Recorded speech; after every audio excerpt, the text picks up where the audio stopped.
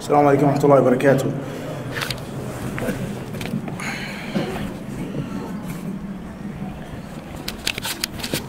الله أكبر الله أكبر. الله أكبر الله أكبر. أشهد أن لا إله إلا الله. أشهد أن لا إله إلا الله.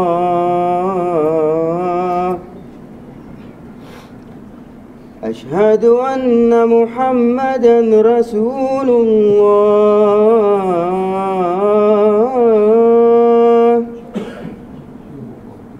أشهد أن محمدا رسول الله.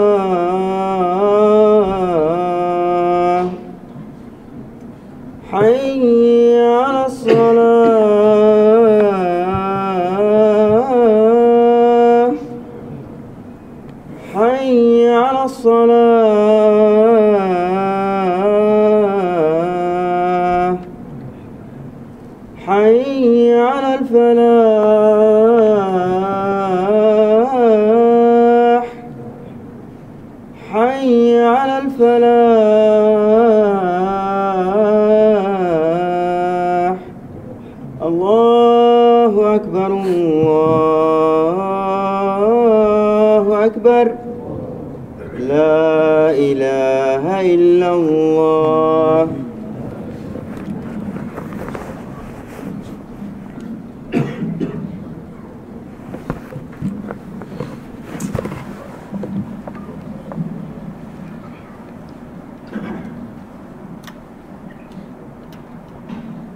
إن الحمد لله نحمده ونستعينه ونستغفره ونعوذ بالله من شرور أنفسنا ومن سيئات أعمالنا. من يهده الله فلا مضل له ومن يضلل فلا هادي له. وأشهد أن لا إله إلا الله وحده لا شريك له وأشهد أن محمدا عبده ورسوله وخليله وصفيه وأمينه على وحيه ومصطفاه من خلقه. صلوات ربي وسلامه ورحمته وبركاته عليه. وعلى آله وصحبه ومن تمسك بهديهم ودعا بدعوتهم إلى يوم الدين. يا أيها الناس اتقوا ربكم الذي خلقكم من نفس واحدة وخلق منها زوجها وبث منهما رجالا كثيرا ونساء. واتقوا الله الذي تساءلون به والأرحام. إن الله كان عليكم رقيبا. يا أيها الذين آمنوا اتقوا الله حق تقاته ولا تموتن إلا وأنتم مسلمون. يا أيها الذين آمنوا اتقوا الله وقولوا قولا سديدا. يصلح لكم أعمالكم ويغفر لكم ذنوبكم. ومن يطع الله ورسوله فقد فاز فوزا عظيما. أما بعد فإن أصدق الحديث كتاب الله سبحانه وتعالى وخير الهدي هدي محمد صلى الله عليه وعلى آله وصحبه وسلم وشر الأمور محدثاتها وكل محدثة بدعة وكل بدعة ضلالة وكل ضلالة في النار Verily all praises belong and are due to Allah subhanahu wa ta'ala alone without any partner. We laud Him, we ask of His aid, and we beg for His assistance. We seek refuge in Allah from the evils of our souls and from the consequences and vices of our misdeeds. Those slaves of Allah subhanahu wa ta'ala who receive guidance and true insight, knowledge, and He opens up and expands their breasts, that none can mislead them, none can send them astray, none can disturb them and turn them away from this sirat al-mustaqim.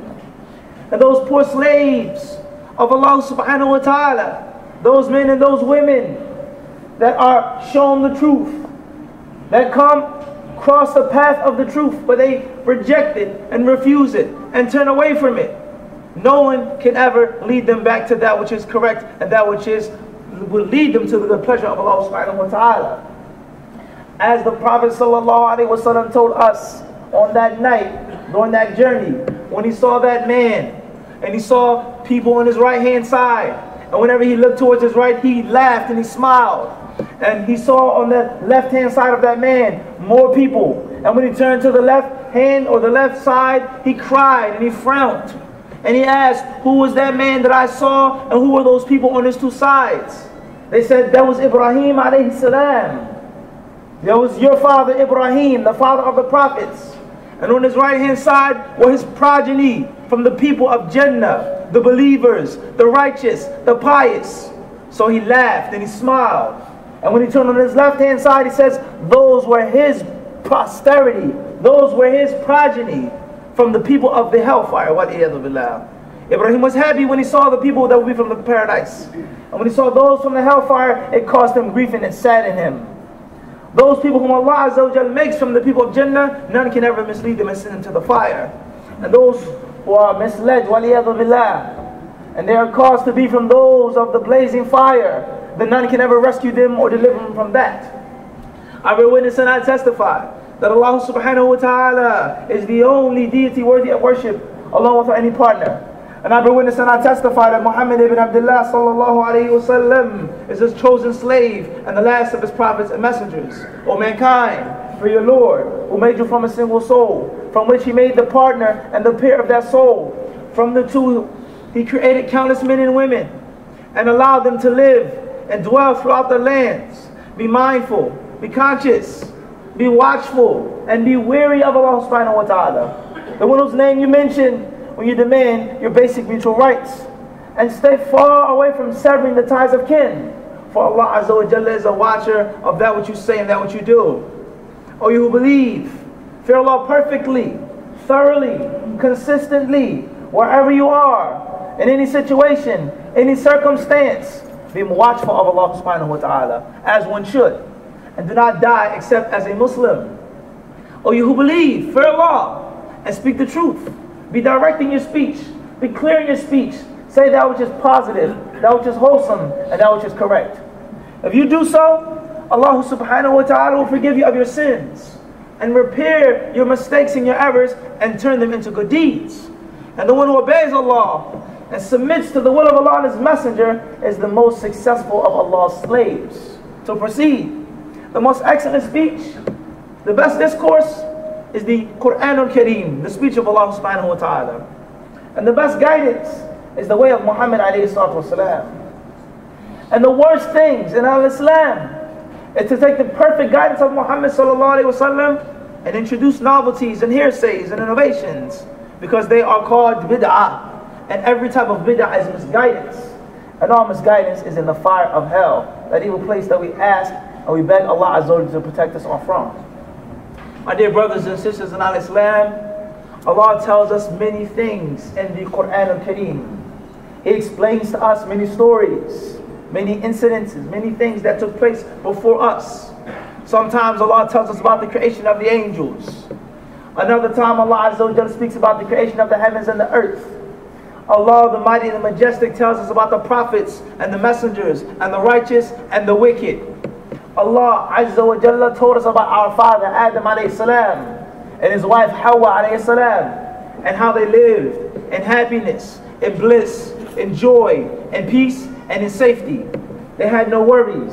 They had no troubles. They had no means of stress. Allah created them, provided them with sustenance, with things to eat and things to drink, and a comfortable place to live. But He told them to beware of someone he warned them to be wary, to be watchful of an adversary, a slave of minds, a created being of minds that is not like you. He's not made from what you're made of. He doesn't think how you think. Beware of this slave of minds, for he's an enemy to you, and he's an enemy to your offspring that will come after you. Beware, Adam, Allah told him. Beware. Do not be fooled do not be deceived by this enemy. He will whisper. He will come. He will beautify things, glorify things, adorn things, and he'll make them seem fair. Allah Azza wa Jal told our father Adam alayhi salam and his wife Hawa, وَلَا تَقْرَبَا هَذِهِ الشَّجَرَةِ فَتَكُونَ مِنَ الظَّالِمِينَ He says, and do not go near this tree. Do not approach this tree, lest you would be from the wrongdoers. You will be from the oppressors. You will be from the tyrants, those who have wronged themselves, those who have disobeyed my commands, and those who have not taken my advice. Look at what Allah told our forefather alayhi salam, وَلَا تَقَرَبَا He says, do not approach the tree. Do not come near the tree.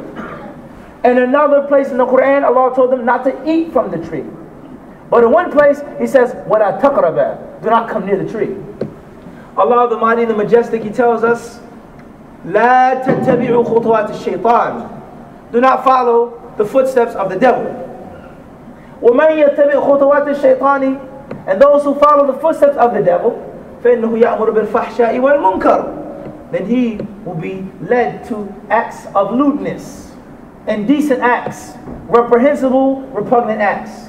In other words, Allah did not say, do not follow the devil. Allah did not say, do not obey the devil. Allah said, follow not his footsteps.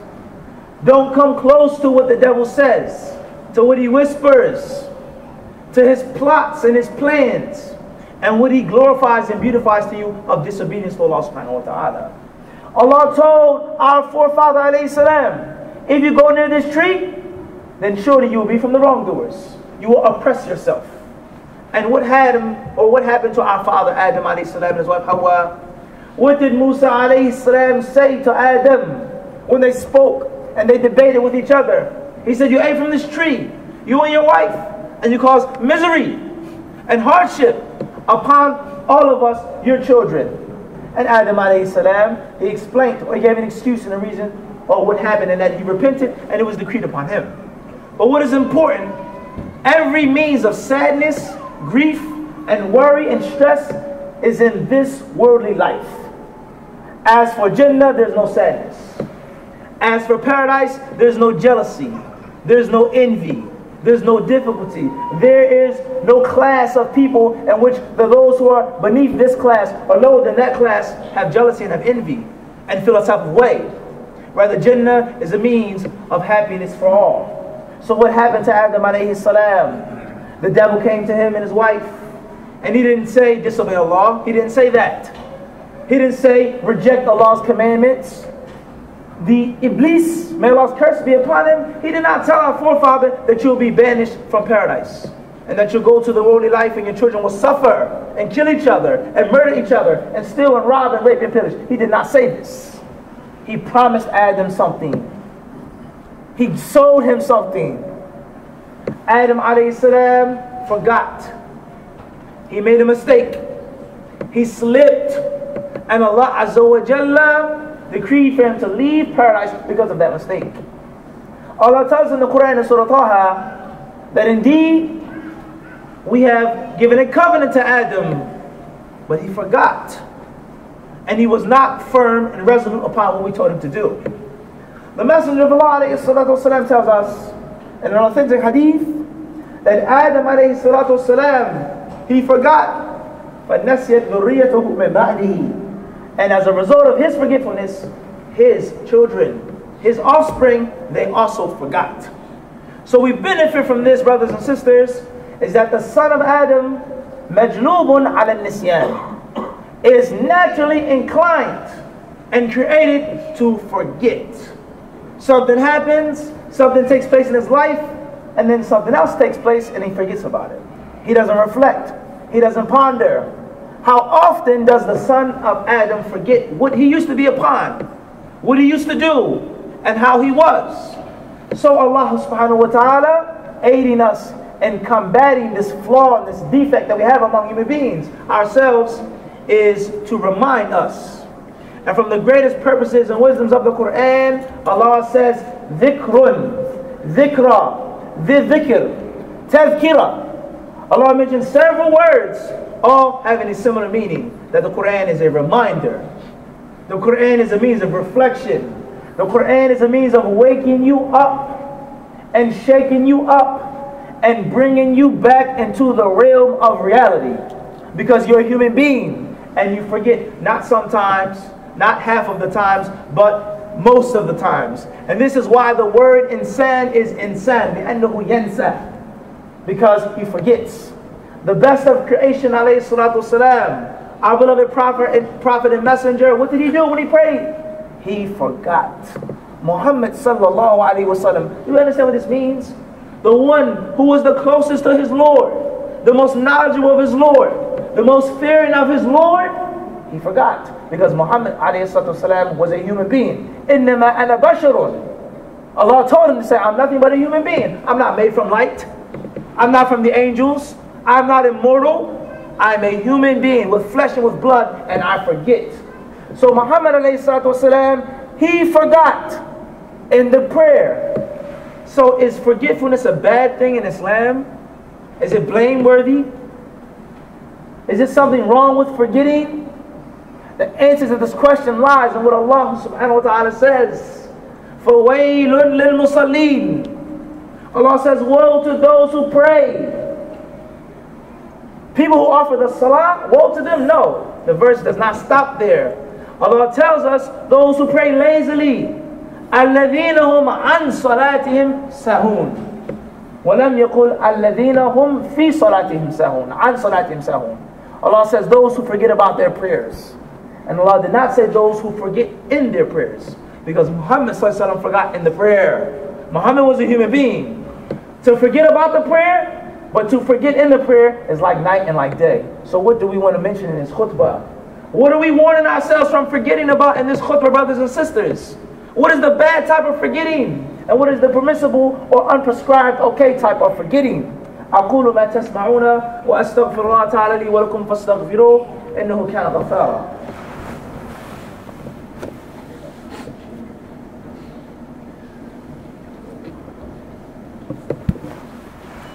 الحمد لله وكفى وصلاة الله وسلامه على عباده الذين اصطفى أما بعد From the things that the human being, that the slave of Allah subhanahu wa ta'ala is blamed for forgetting as what Allah tells us about in the Quran and Surah An-Nisa. But before we mention that verse, we must understand some of the bad characteristics of the son of Adam. Allah tells us that the son of Adam is created in a weak state. Allah the Mighty and the Majestic tells us that the son of Adam was created in haste. Allah subhanahu wa ta'ala informs us that the son of Adam has been made to be greedy, to be stingy, to have a lack of patience and a lack of forbearance. And this is why Allah Azza wa Jalla says, قَدْ أَفْلَحَ مَنْ تَزَكَّى Successful is the one who purifies himself, who cleanses himself, who wipes away some of the original characteristics of the son of Adam. And from the worst of those characteristics is to forget what you used to be upon. Allah subhanahu wa ta'ala tells us, Ya ayyuhalladhina amanu, O you who believe. He says, when you go out on a lost cause, and those who give you salams, do not ignore them. Do not reject them. Do not say lasta mu'minan tabtaghuna arad al-hayat dunya. Allah says you're not a you're not a true believer. You're not a real believer. In other words, when you go out as Muslims, the Sahaba, fi sabilillah azza wa jalla, and you come across someone and they say assalamu alaikum, don't say that you're a munafiq, you're a hypocrite. You're really not a believer.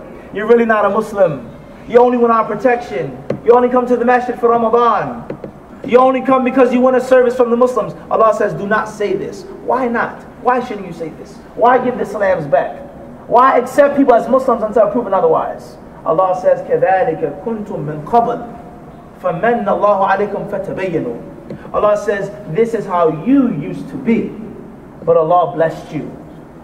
You used to be a non-believer. You used to worship fire. And this idol, made from oatmeal, made from grain, and used to bury your daughters in the sand. And used to make fornication and prostitution and gambling and drinking. And used to murder your kinsfolk and your tribesmen for no reason except for jahiliyyah. But Allah blessed you. In other words, those of us who are born Muslim, when we practice the religion and we try to hold fast to the religion, not everyone, but many people, they have a, an extreme level of harshness, unnecessary harshness a lack of wisdom, and often they push people away from the deen. But the question is, last year, were you not just doing that? Five years ago, were you not in that same state? Before you received that tape or that lecture or that, that khutbah or that class, before you traveled, you didn't dress like this. You didn't pray all of your prayers. You used to drink, you used to smoke in your country before you came to America. So why do you come to America and why do you treat your Muslim brothers and sisters who aren't as fortunate as you like how you used to be? Because you're the son of Adam and you forget. And this type of forgetting is blameworthy. And this is why Allah Azza says, كَذَلِكَ kuntum. Speaking to the Sahaba, you used to be like this. So take this into consideration, Ya akhi. Take this into consideration, Ya ukhti. Think about what the Prophet ﷺ said to his companions, the most knowledgeable, the most pious, those who wanted Islam to spread the most. He says. He says, from among you people are those who scare people from Allah's religion. From among the Sahaba, he said, those who push people away from Allah's deen, Allah Akbar. What if the Prophet ﷺ came and he saw us? How we push people away from Islam. How we run people away from the Sunnah. This is not the way of Muhammad sallallahu alaihi wasallam. He told his companions when he sent them to Al-Yemen, he said, Bashira wa la. Give glad tidings and don't scare the people away. Give glad tidings and do not scare the people away. Because if you were, if, if someone scared you away, if someone wasn't kind and gracious and merciful to you, where would you be at today? Allah says, from the virtue of Allah, the bounty of Allah subhanahu wa ta'ala, linta lahum. You were kind to them. You were lenient with them, O Muhammad. With who? With Abu Bakr Siddiq and Umar al-Khattab radiallahu who was an enemy to Islam. He wanted to kill the Prophet sallallahu alayhi wasallam. And the Messenger of Allah alayhi he made dua for Allah to support Islam through one of two men. Oh Allah, allow one of your two slaves to accept his deen. Either Hamza or Umar. Because it will bring strength and pride to the Muslims, protection to the Muslims. And they both accepted Islam. But before then, they were enemies to the deen. Khalid ibn al-Walid how many campaigns did he kill on the, on the, the battle of Uhud? And then Allah opened up his breast and he accepted Islam. وَلَوْ كُنْتَ فَضًّا غَلِيظَ الْقَلْبِ لَنْفَضُّوا مِنْ حَوْلِكَ فَاعْفُ عَنْهُمْ Allah says, if you were hard-hearted, if you were harsh, if you were not wise, if you didn't remember the situation beforehand, they would have ran away from you, O Muhammad. None of the companions would have been there. If you practice this type of harshness and this type of lack of wisdom and this type of fake piety, fake piety, fear Allah subhanahu wa ta'ala with regards to your brothers and your sisters, your wife and your children and your husband. And remember the state that you used to be in. And many of our brothers and sisters come from foreign countries and they're immigrants in the United States. Most of them that I speak to, not all of them, but most of them didn't practice Islam in Pakistan or Bangladesh or Togo or Mali. Most of them didn't. And many of them, when they came to America, they sat down, they learned some things, they read some books, they sat in some classes, they were removed from their environment and their culture, and they learned some real, true Islam, Sunnah. How many people came from Bosnia? And didn't practice Islam, didn't pray, didn't cover, and then came to Connecticut and the Lord guided them to the Sunnah. So when Allah guides you to the Sunnah, do not be harsh, do not be overcritical, do not be foolish and practice a lack of wisdom with your brothers and sisters from your country. What happened? Any other example that you wish to mention or wish to use as a analogy. So the point that we're going to get to in this khutbah is that we have to remember where we come from and what we used to be upon. You want your brother to come to al-Islam your sister to come to Islam, your brother to come to the Sunnah, someone is doing something haram, then there's a way of advice. There's a way of speaking to them. There's a way of talking to them. Whether it's soft or whether it's harsh, but there is a way. And this is what Allah Azza wa intended from us. And what He said in this glorious book, أُدْعُ إِلَى سَبِيلِ رَبِّكَ بِالْحِكْمَةِ وَالْمَوْعِدَةِ الْحَسَنَةِ وَجَادِلْ وَجَادِلْهُمْ بِالَّتِي أَحْسَنُ Allah says, call to the way of your Lord, invite, make dawah. Call the people, invite them, warn them, tell them about Islam, tell them about the Sunnah. There's no doubt about this. But how? Bil hikmah. With hikmah. What does this word hikmah mean? The word hikmah comes from hakama. And what does the word hakama come from? Or what is it related to? Al-ihkam. And what does that pertain, or what does that pertain to? It's similar to another word in the Arabic language, al-aql, intellect, brains. And the term aql is similar to another word in the Arabic language, the iqal. The reins of the camel or the horse. And when you pull the camel back, steer to the right, steer to the left. Don't go, don't move. This is what your aql is to tell you to do. You have brains, think. Don't walk forward. Don't go to the right. Don't go to the left. And it's a similar meaning to hikmah. You have to walk, but maybe not in this direction. You have to walk, but maybe at, not at this speed. Hikmah, wisdom and da'wah to Allah subhanahu wa ta'ala, whether it's being soft or whether it's being harsh, whether it's speaking or refraining from speech, whether leading by example or teaching. Al-Muhim is that we have to be mindful of what Allah has blessed us with. And if we think that we have received Allah's guidance, and everyone else is misguided. And I don't have to be merciful and kind to my Muslim brothers or the kuffar and calling them to Islam, then know for sure this blessing could be stripped from us and it can be taken away from us. As the Prophet ﷺ has informed us, لَوْلَا أَنَّكُمْ تُذْنِبُونَ He says, if you didn't make sins, Allah Azza wa Jalla would bring in people who made sins, who sought His forgiveness, and He would forgive them. Because Allah Azza wa Jalla loves to forgive. Allah loves to pardon, and Allah loves for His slaves to call out to Him. So we ask Allah the Mighty and the Majestic to make us of those who realize the blessing about Islam. Ameen. Ameen. We beg Allah Azza wa Jalla to forgive us of all of our sins and mistakes and shortcomings. Ameen. We ask Allah Azza wa Jalla to have mercy upon our poor souls. Ya Rabbal Alameen. We beg that Allah Azza wa Jalla forgive all of the believers, men and women sitting in this masjid here today. Ameen. We ask that Allah Azza wa Jalla will make it easy of those Muslims who have debt. Ameen. We ask Allah Rabbul Alameen to cure all of the sick and the Muslims wherever they may be, Ya Rabbul Alameen. We beg that Allah Azza wa Jal bring support and relief to our brothers being murdered and persecuted wherever they are, Ya Rabbul Alameen. We ask that Allah put an end to their suffering and to their pains and to their agonies, Ya Rabbul Alameen. We ask that Allah Azza wa Jalla will make us firm upon Islam until the day in which we die, Ya Rabbul Alameen. وآخر دعوانا أن الحمد لله رب العالمين وسبحان ربك رب العزة عما يصفون والسلام على المرسلين والحمد لله رب العالمين